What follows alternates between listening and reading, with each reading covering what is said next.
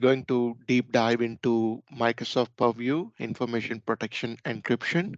Uh, over to you, Anders. And yeah, we have Thank started you. the recording. Yeah. Ah, fantastic.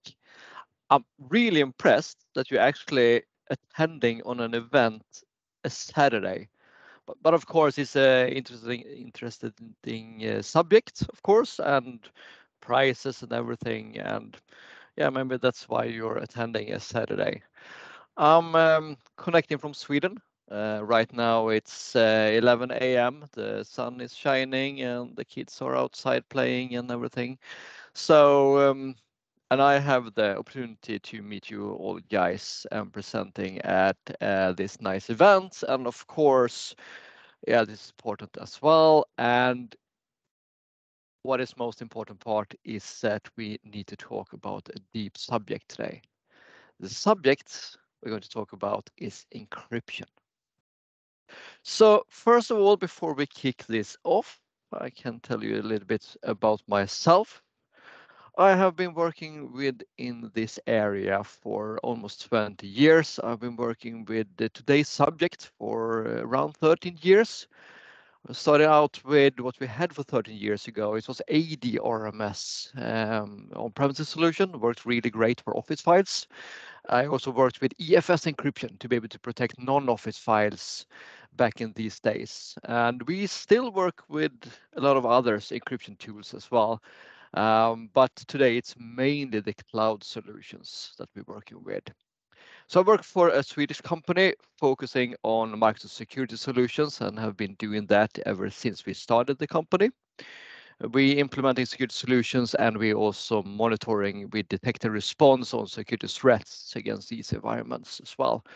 And except for all the security solution that we have with the Defender product, the Azure AD, the identity protection, all these, the purview stuff is a really important part to be able to detect abnormal behavior, uh, data exfiltration, and everything around that. So that's that's what I do and what we do. Um, and as you can see, I've been an MVP for 13 years, uh, working close with the product groups in, in Redmond and also in Israel, of course, uh, where we have a lot of products that have been bought by Microsoft because there is a lot of great stuff coming from Israel uh, within the security area as well.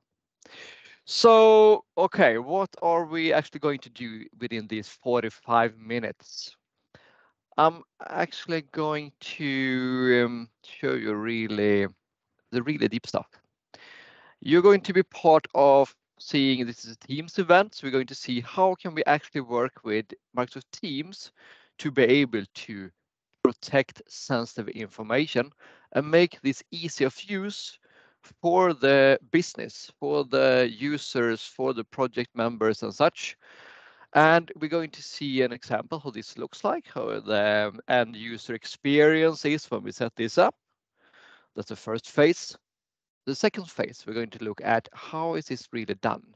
How do we do with all the great stuff that we have in the background with Microsoft Teams, with the uh, Microsoft 365 services, and of course the Purview services? How do we set this up to actually work as good as it actually works? And the most deep part, the third step, we're going to talk what's actually happening. What's happening in the background when we're doing stuff.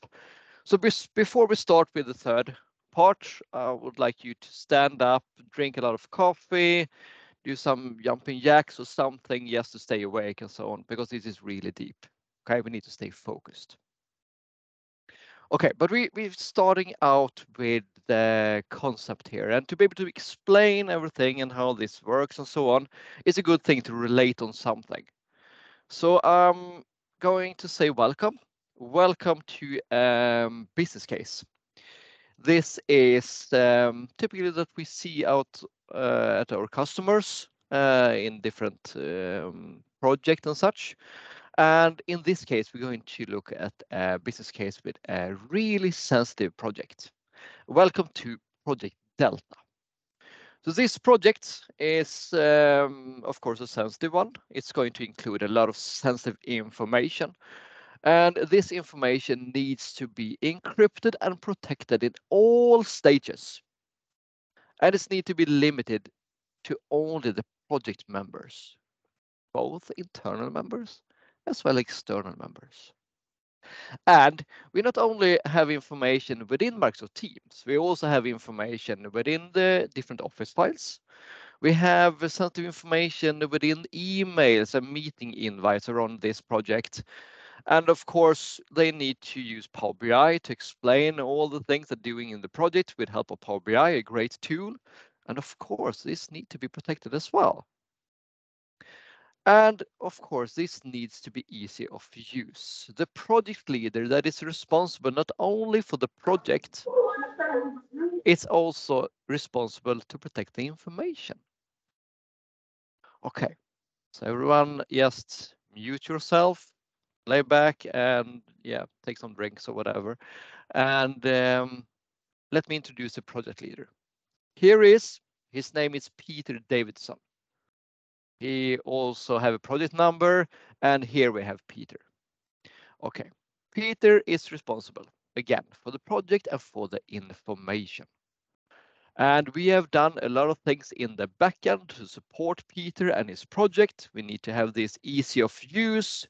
Uh, Peter needs to do all his tasks without calling service desk and such. This needs to be easy of use for Peter with his responsibility. Okay.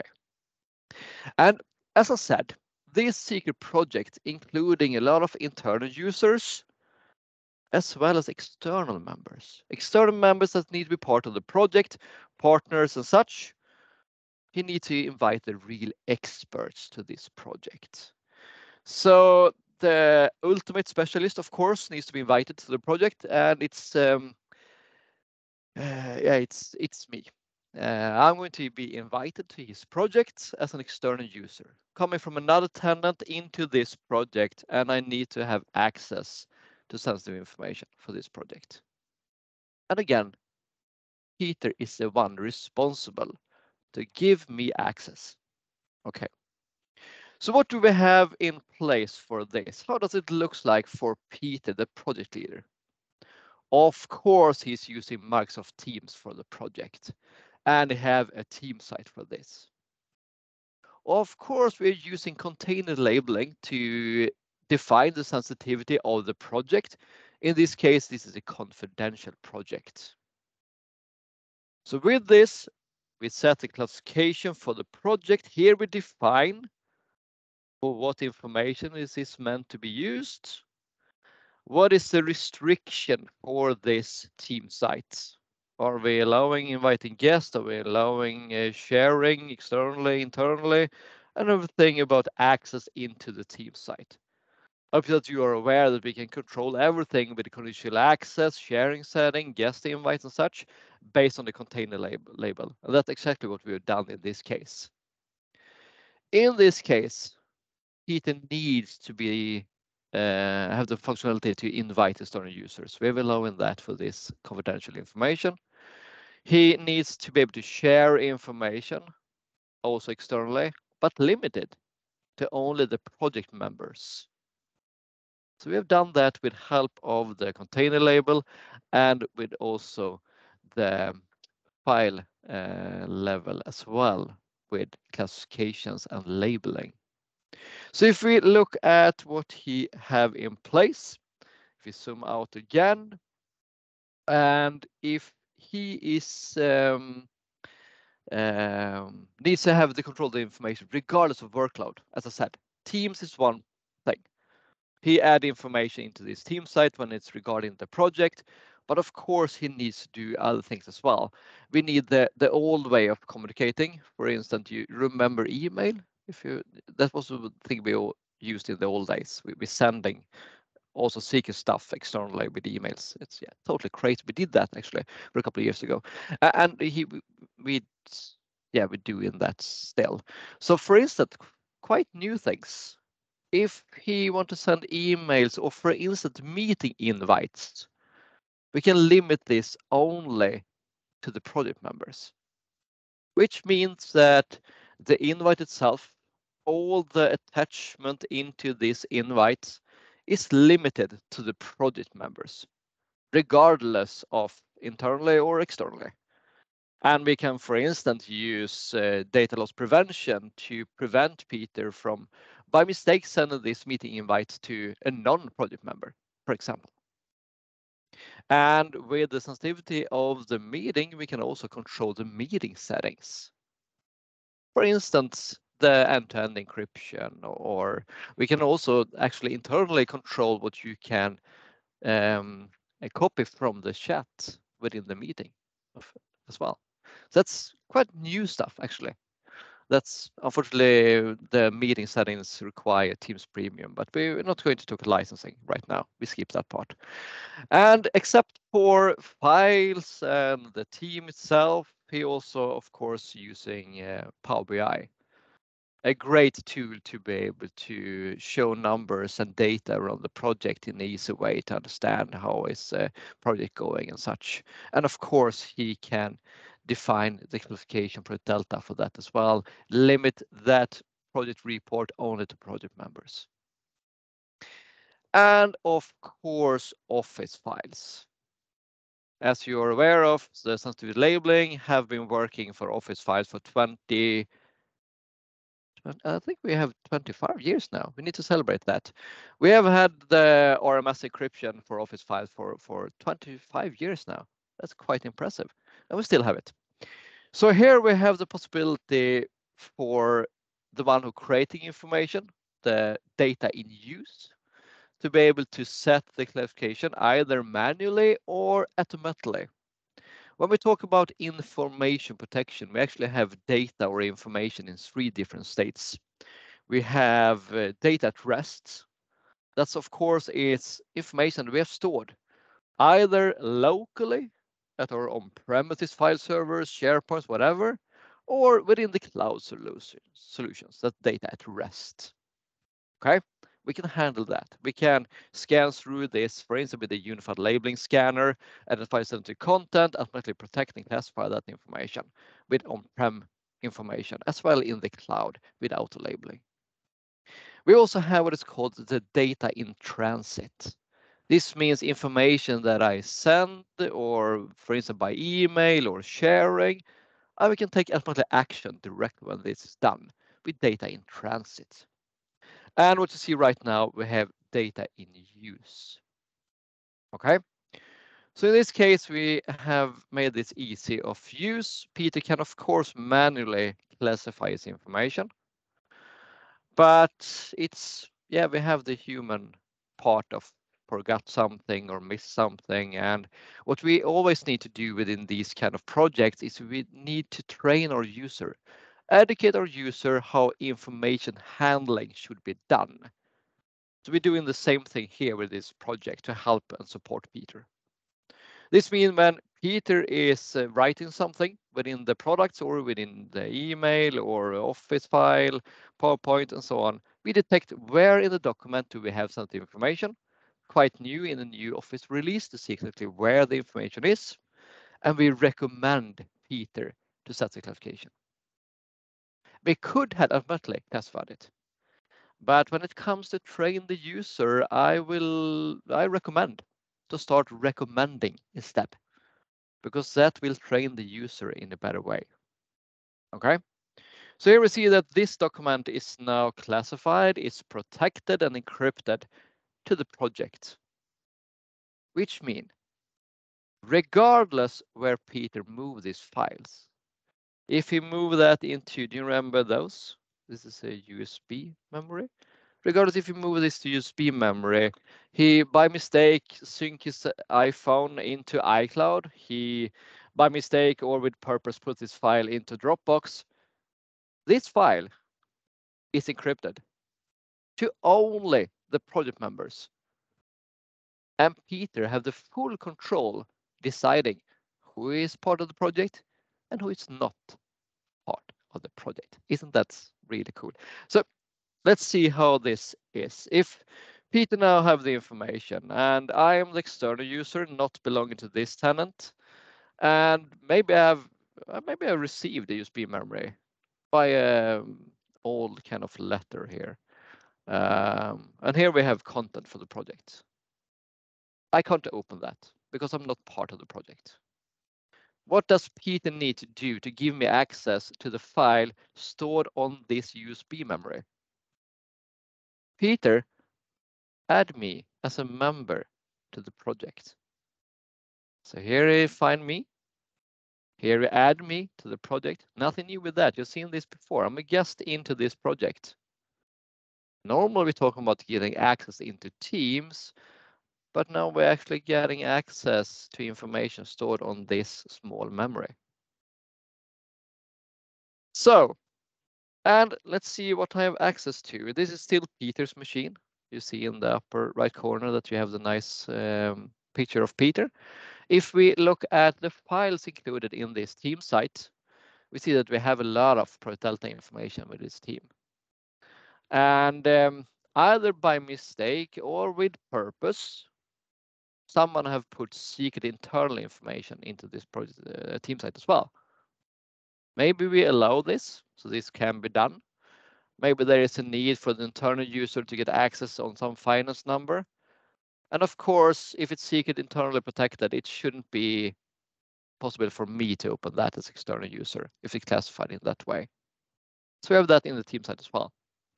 And I hope that you are aware of that we now have the functionality to actually set the default label for all files that is created and uploaded into this cloud location with default label for the site. So we, in this case, have set that all files that is created on the team site is by default classified as Project Delta.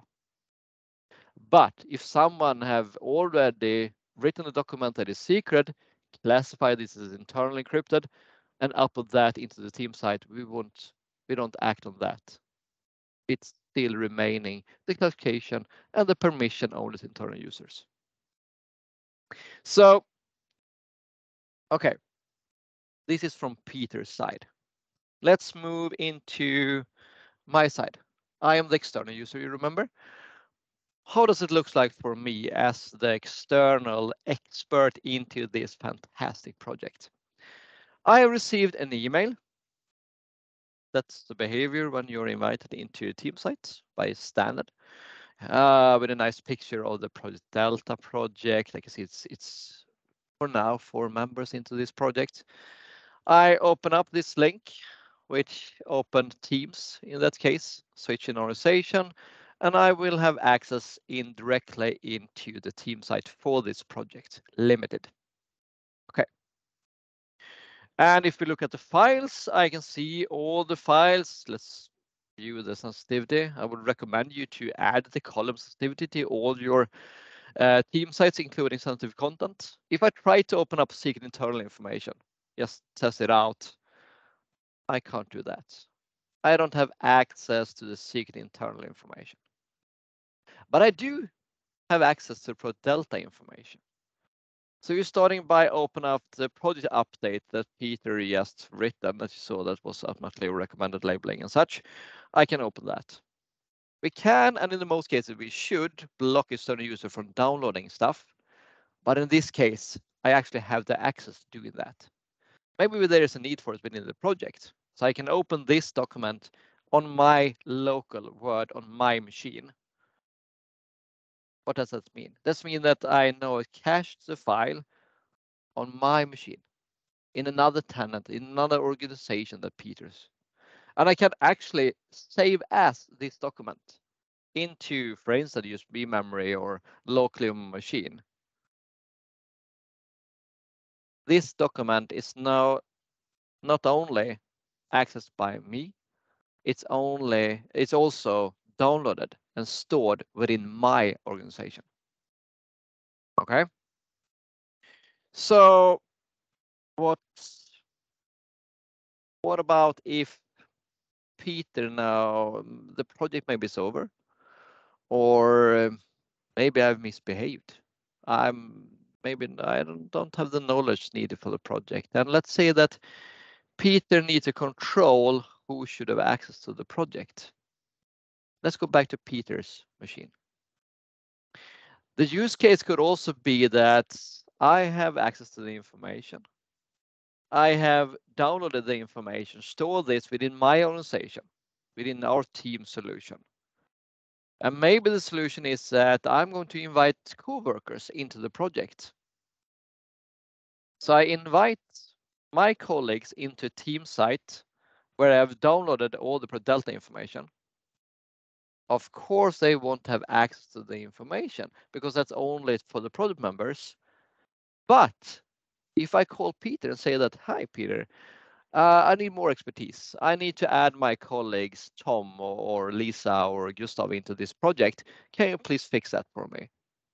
The only thing that Peter needs to do to give access to my coworkers, to get access to the information that I already have downloaded, is go to the team site, add members into the project.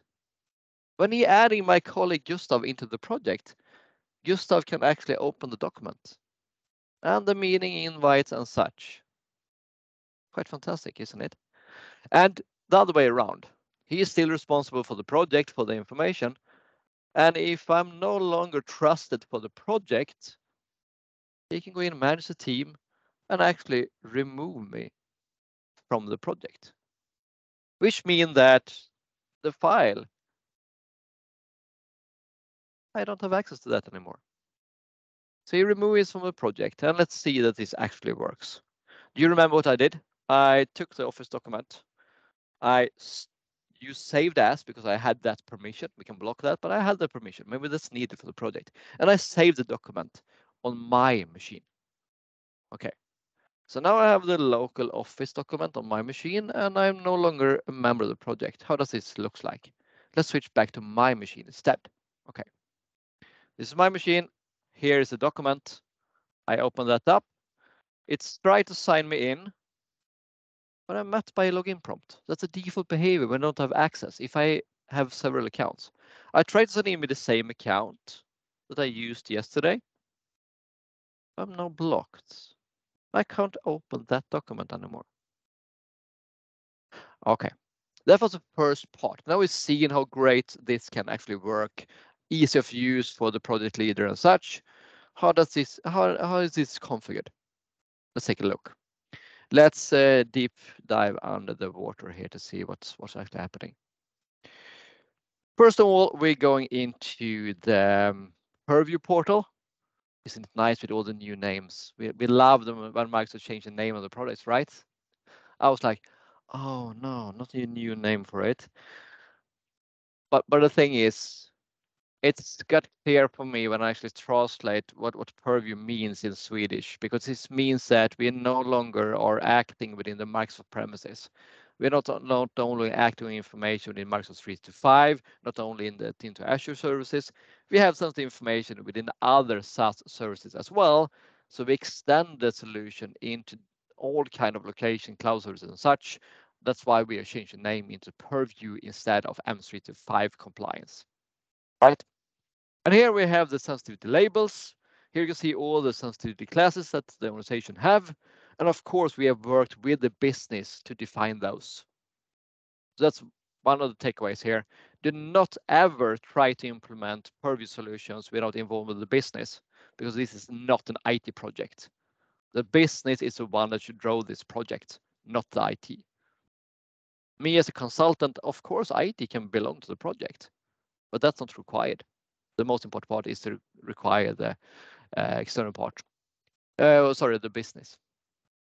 Someone wrote something in the chat. Um, so yeah, you know, guy doing two things in the same time. Yeah, yeah, yeah. Let's go back to the Purview portal, right? Here we have the labels. Here we can extend the confidential labels. Here we see the project. So the sensitive labels classify the project, and then we use a policy to assign the project to the project members. Okay, so only the project members of Delta project can see and use this label. Okay, so you don't get too much labels for end users.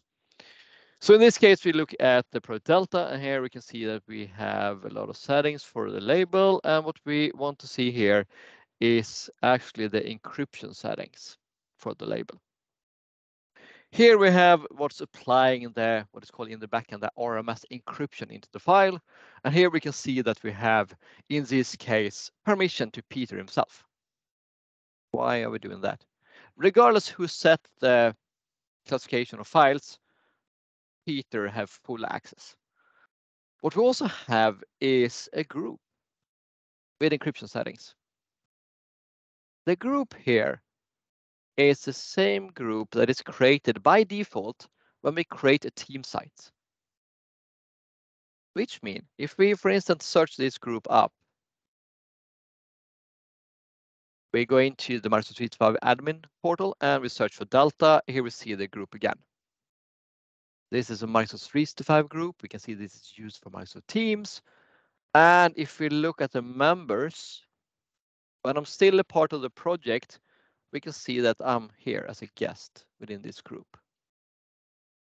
If Peter invites someone new into the project, they get a member of this group. If Peter, Peter removes someone from the group, I'm removed from the group and have no longer access to the encrypted content. And of course, the team site itself. Okay. Now we have done the first part, how this looks like for the end users. We have looked the second part of this is configured. Not that hard, right? But we need to go into the third step. How does this really work? What, what's really happening under the water when this is done? Okay, so get ready. I would recommend if you have the coffee in front of you, take some sip on that coffee, do some jumping or something to stay awake, stand up if you're sitting. We need to stay focused here to get this right, okay? This is quite advanced. Let's start with what's happening from Peter's side. You remember that Peter had the Office document. He uh, labeled the Pro Delta information with the Word document. What is the requirement for Peter machine? He can actually do this totally offline without having any access to internet. He can still encrypt content. So let's start with Peter machine. Encryption from a local office. First of all, we have the requirements. We have the cloud solution. What's happening when you set up uh, M365 tenant is that as per today, right or wrong, I'm quite not sure, but actually it's by default enable Azure Rights Management for a new tenant. For a couple of years ago, you need to activate this manually. Right now, it's automatically activated. What's happening when this is done is that an organization key unique per customer is created in the cloud. This organization key that is used by the Azure Rights Management Service is by standard RSA 2048 bits encryption, and this is stored automatically in the cloud. If you have been using ADRMS in the past, you can, for instance, upload your ADRMS key into the cloud to be able to actually decrypt ADRMS encrypted content to be able to remove that ADRMS solution, for instance.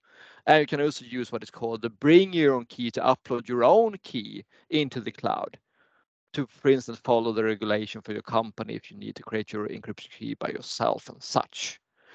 But the only thing is you can have a lot of keys in the cloud. All these keys can be part of the decryption project, but you can also only have one active organization key for encryption at a time. Okay.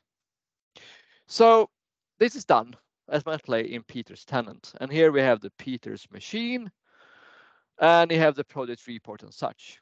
What's need to be done before anyone can start encrypted content, again offline if there's need for it, they need to do what is called a bootstrap into the machine.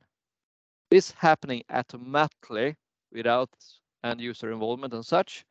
The requirement for this to happen is that the end user, of course, need to be signed in into the Office products and you also need to have the Azure Rights Management solution activated in the tenant. And he need to have a policy assigned for his user. If this is done, what's happening apparently within the client is there is been a, will be an authentication from Peter's machine into the service, and he will get back, first of all, a user certificate. This is not an X509 certificate. You cannot you can't find it in the local cert store in Windows. Uh, this is unique for RMS and been done like that for 25 years, but it's following standard. We have a public key and a private key of this certificate, and this is stored on Peter's machine. What we also have is that he will get the public key of the organization key downloaded to his machine. With those two, the user certificate and the public part organization key, Peter can now actually start encrypted content totally offline. Okay, but this needs to be done in the first phase with internet connection because we need the authentication to be done. Okay, so now you go back to Peter's machine. He had the office document and he applied the encryption. What happening then? Okay, here we have the project report here. And the first Peter did was to either manually or with data in transit or data at rest, we apply the label. In this case, a project delta label. This file is now classified confidential, which means that we can take, for instance, DLP rules with conditions on that information and such, but we also apply the encryption. The encryption is in the first phase similar to EFS encryption, if you're aware how that works. All files, all unique files are encrypted with a randomized key. This key is following standard of uh, encryption, it's either 256 bits or 128 bits. And why is that? It's regarding what kind of office product that is in use.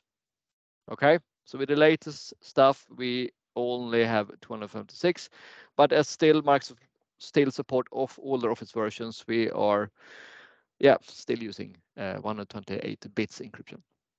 Okay, so a randomized key called the content key, encrypted the content. And now the file is actually encrypted.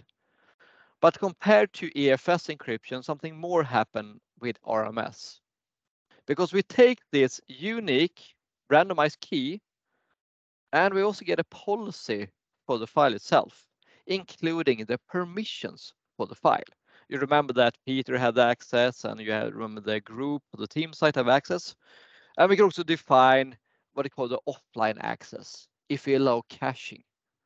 Caching can give the possibility to open content without internet connection. For instance, if you allow seven days caching, that file needs to be opened with internet access the first time, and then the user can open this for seven days, for instance. In this case, it's so sensitive, so we disable that totally. You need to authenticate yourself always when you try to open this up. Okay, so we have encrypted the content. We have the policy for the file. What will happen is that we take this unique content key and we will put that together with the policy. And then we will encrypt the unique file, unique content key, I mean, with the policy, with the organization key. Okay, the public part of that was downloaded on a piece of machine. It will encrypt the content key the policy and we will sign this with Peter's certificate. And that is the RMS protected file. Okay. So, and what did Peter do? He saved the document. Peter saved the document within the team site, right? What what actually happened when he uploaded this into Teams? The file was uploaded into the team site and here something will happen. If we look at what's happening when it's uploaded and we look at what's happening when someone accesses Microsoft Teams to make this further deep what's happening in the backend here. First of all, we start with I was changing tenant. I accessed Peter's tenant with Teams. You remember that? That was happening. It's switching tenant. I get access to, to the Pro Delta. First of all, we have my machine here in the lower right corner here or left corner. Uh, and I had to authenticate myself. Here we have all the nice logic. We Azure AD, the conditional access, the identity protection part, and we look at what IP I'm using. Is my device safe or not? And if that is the case, we allow access into Peter organization. Or we require me to enter MFA, for instance. And after a successful MFA request, I get access into the team site. Okay. Now I am here with my machine and here we have the team site for Project Delta. What actually happened to the file that was encrypted is that this file was actually decrypted by RMS. Um, that's not secure, you say? Uh, the thing is, everything that's stored in M65 is deeply encrypted with further encryption.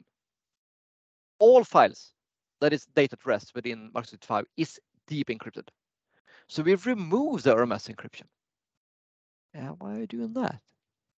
Because this file needs to be able to be opened within the Teams client. That's kind of a browser into the cloud service. So we remove the encryption of the file. But what is really important for the files within M65 is the access. Who have access and with what access do we have? So we remove the RMS encryption, but we still have the policy for the file. So after a successful sign in from Peter machine, he tried to open up the specific document. He saw that I couldn't open the secret part, but I could open the confidential for Delta because it verified if I was a member of the group. And I was, which make it possible for me to open that document in Microsoft Teams within the browser, for instance. But what did I do? I opened this in local office again, we can block this based on the container label, based on the, the uh, permission and such. But we allow that because there, there was a need for it. What will happen here, I download the file, is that this file will be encrypted again, stored on my machine. Okay, so the scenario could be that Peter didn't put this in Teams, maybe put this in USB memory and it gave me the memory physically. Here is the information for the project. So what is actually happening when I try to open up something, regardless where this document is stored, could be Dropbox, could be USB memory, could be a local file server, could be my home computer. What is actually happening here? Again, we have my machine and we have the document what will go to Microsoft? The document itself will not be sent to Microsoft. So if you have information that's not allowed to be stored in the cloud, nothing will be sent to Microsoft. What will be sent to Microsoft is the encrypted policy for the file. Together, when I sign in with a user, that's happening by default within Office package, for instance, is that it will add my user certificate with my public key to the cloud service. With help of the organization key and the private part, we can decrypt, Microsoft can decrypt the policy to see who have access to the file. And they will also get access to the content key that encrypted the file in the first phase. And by the permission for the file, Microsoft can verify, okay, is this Peter? No, it's not Peter. Is Anders part of the project group? Yeah, in the first phase I was. So in that case, what will happen? Microsoft will, or the service itself, not a person, the service will automatically do this in the backend. They will take the content key together with the policy, and they will actually create a new policy, a new certificate for this file, including the randomized content key that was unique for all files that are encrypted, together with my permission and settings, what I am allowed to do within the Office package, for instance, or Outlook or meeting or whatever. And it will actually encrypt this policy. It will encrypt this policy with my user certificate and my public key of my user certificate. And this will be downloaded to my machine. If someone do a man in the middle and sniff the traffic or, or in, in some way getting access to this encrypted policy, first of all, they don't have the document Second of all, they can't use a policy because that is only possible for my device. Okay. So on my device, my user certificate and the private part of that certificate will be used to decrypt the policy, which give me the policy with the permission for the file, including the content key, the one that was used when Peter applied the encryption. And with help of that, this file will be decrypted with the permission that we have set on the file.